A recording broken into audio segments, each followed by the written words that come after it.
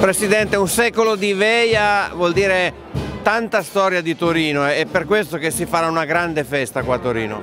Certo, noi faremo una grande festa il 6 e il 7 giugno coinvolgendo tutta la città.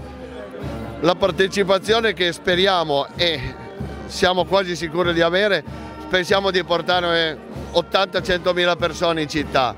Un, sarà una due giorni di allegria, di felicità e soprattutto diamo qualcosa comunque alla città. La città sta rispondendo bene, a parte il cittadino ma anche le istituzioni sia della città e anche della regione, devo essere sincero, ci sono vicini, hanno dato il loro patrocinio per questa festa. Sarà una bella festa anche per dire che gli alpini quando c'è bisogno ci sono sempre, con la loro protezione civile ma non solo. Certo, noi Attualmente con la città, eh, città metropolitana, col comune regionale, siamo circa 350 volontari di protezione civile.